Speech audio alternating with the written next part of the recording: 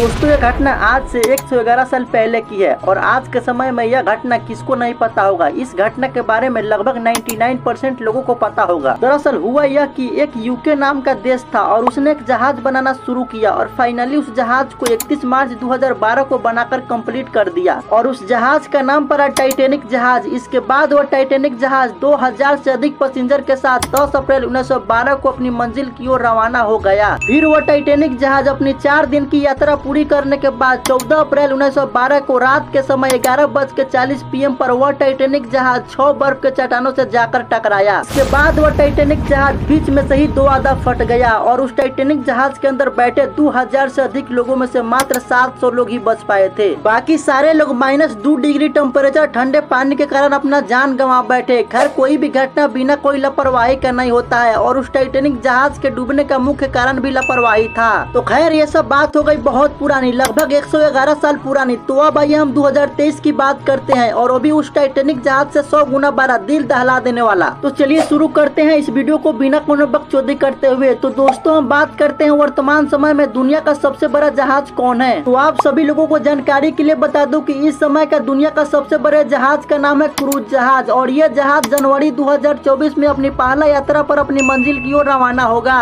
और इस जहाज़ बनाने वाले मालिक का कहना है कि इस क्रूज जहाज़ के अंदर पाँच हज़ार से भी ज़्यादा पैसेंजर एक साथ बैठ सकता है। और इस जहाज़ के मालिक का यह भी कहना है कि इस जहाज़ के अंदर, यानी इस क्रूज जहाज़ के अंदर जॉब करने वाले लोगों की संख्या 2000 से अधिक होगी। तो कहने का मतलब है कि इस जहाज़ के अंदर एक साथ बैठने वाले टोटल सदस्यों की बात करें तो इस क्रूज जहाज़ के अंदर सात हज़ार से भी अधिक लोग एक साथ बैठकर अपनी यात्रा पूरी कर सकता है। और तो और दोस्तों, इस जहाज़ बनाने वाले मालिक का यह भी दावा है की इस जहाज़ के अंदर बैठने के बाद आपको स्वर्ग ऐसी भी ज़्यादा आनंद मिलेगा। यानी कहने का मतलब है कि इस जहाज़ के अंदर बैठने वाले जितने भी पैसेंजर होंगे, उन सभी पैसेंजरों को एंजॉय करने के लिए दुनिया का सभी फैसिलिटी दिया जाएगा। तो दोस्तों, अब उस दिन का इंतज़ार है कि ये क्रूज जहाज़ जनवरी 2024 में अपनी पहला यात्रा पर अपनी मंजिल की ओर निकलने के बाद, यह क्रूज जहाज़ सक्सेसफुली अपनी मंजिल की ओर से वापस लौट कर आता है कि नहीं, या उस टाइटेनिक की तरह इसका भी सेम हाल होने वाला है। तो दोस्तों, इसके बाद अब सभी के दिमाग में एक प्रश्न चल रहा होगा की आखिर इस क्रूज जहाज़ के अंदर बैठ घूमने के लिए इसका टिकट प्राइस